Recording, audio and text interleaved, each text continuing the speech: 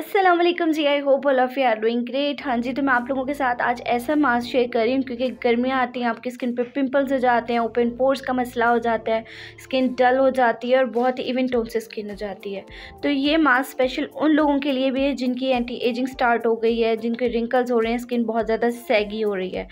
इस मास्क को इस्तेमाल करने से आपको इंस्टेंट जो है ब्राइटनेस होगी और आपकी स्किन इतनी सॉफ्ट हो जाएगी, बिल्कुल बेबी सॉफ्ट आपकी स्किन हो जाएगी। सो यहाँ पे सबसे पहले हमें क्या चाहिए? One tablespoon of flaxseeds इनको उर्दू में अलसी के बीज कहते हैं। सिर्फ़ इन दो चीज़ों से हमने इस मास्क को तैयार करना है इसके ऊपर आपका खर्चा जो टोटल आएगा, वो मैक्सिमम जो है वो फिफ्टी रुपीज़ आएगा। तो देखते हैं इसको तैयार कैसे करना है। सबसे पहले आपने इस फ्लेक्सीड्स को जो है वो पाउडर फॉर्म में कर लेना है। वो आप ग्राइंडर करके बहुत अच्छे से इसको पाउडर फॉर्म में लेकर आ सकते हैं। नहीं तो में आपको पाउडर भी मिल जाएगा, लेकिन अगर आप खुद से करें तो ज़्यादा अच्छा है। ग्राइंड करने के बाद ये बहुत ही एक पाउडर फॉर्म में आ जाएगा और ये बिल्कुल भी हार्श नहीं है।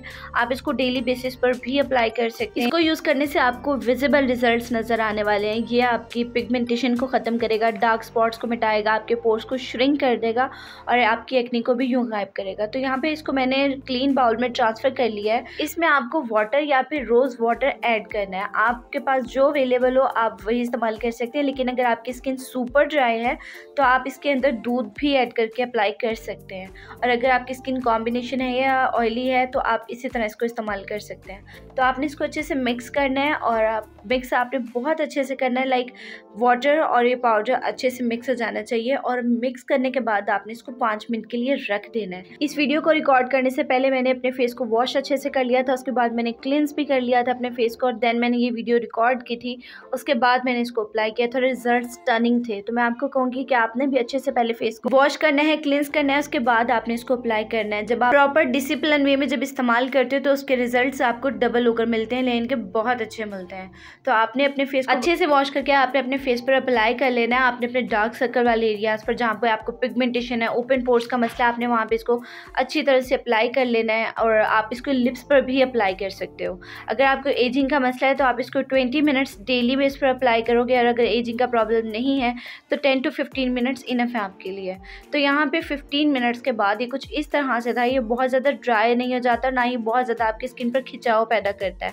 पाँच मिनट के लिए आपने अपने फेस पर अच्छे से मसाज करनी है, ये बिल्कुल भी हार्श नहीं होता, क्योंकि जब आप इसको पाउडर फॉर्म में करते हो बहुत ही जेंटली आपके फेस पर अप्लाई हो जाता है और बहुत अच्छे से मसाज करता है। मसाज करने से क्या होगा, आपकी ब्लड सर्कुलेशन जो है वो तेज़ हो जाएगी और आपकी स्किन और आपकी जो टेक्सचर स्किन का टेक्सचर वो बहुत ही वाइब्रेंट दिखता है। लाइक आपकी स्किन बहुत ही ज़्यादा सबल और बेबी सॉफ्ट हो जाती है। तो यहाँ पे मैं इसको वॉश कराई थी ठंडे पानी से। अब आप देख सकते हो रिजल्ट्स मेरी स्किन इतनी ज़्यादा मुझे लाइक ये हाथ की स्किन है हाथ पाँव और फेस में बहुत ज़्यादा डिफरेंस होता है इसकी स्किन में। हाथ पाँव की स्किन बहुत ज़्यादा हार्ड होती है और स्किन की जो होती है बहुत ज़्यादा सेंसिटिव होती है। तो जब मुझे हाथ पे इतने ज़बरदस्त रिजल्ट्स मिले थे तो मैं बिल्कुल इमेजिन कर रही थी कि फेस पे बहुत अच्छे रिजल्ट्स मिल सकते हैं। सो so, आपने भी इसको मस्ट ट्राई करना है क्योंकि इस पर कोई ज़्यादा खर्चा नहीं है। और ईद करीब है लाइक अभी रमज़ान शुरू होने वाला है बहुत जल्द और उसके बाद ईद आने वाली है। ईद ये आपकी स्किन को बहुत ज़्यादा हाइड्रेटेड रखेगा, आपके पोर्स को जो श्रिंक कर देगा और जब ये वाली प्रॉब्लम्स आपकी स्किन से ख़त्म हो जाती हैं तो आपकी स्किन इवन टोन हो जाती है। लाइक वो जो आपकी स्किन पर बहुत ज़्यादा डलनेस हो जाती है पिगमेंटेशन स्टार्ट हो जाती है बाज़ लोगों को, ज़ाहिर रमज़ान के रोज़े रखते हैं तो इस वजह से। सर ये थी आज की वीडियो उम्मीद करती हूँ आप लोगों को पसंद आई होगी। इंस्टाग्राम पर आप मुझे फॉलो कर सकते हो, किसी भी नेक्स्ट वीडियो के लिए डीएम भी कर सकते हैं।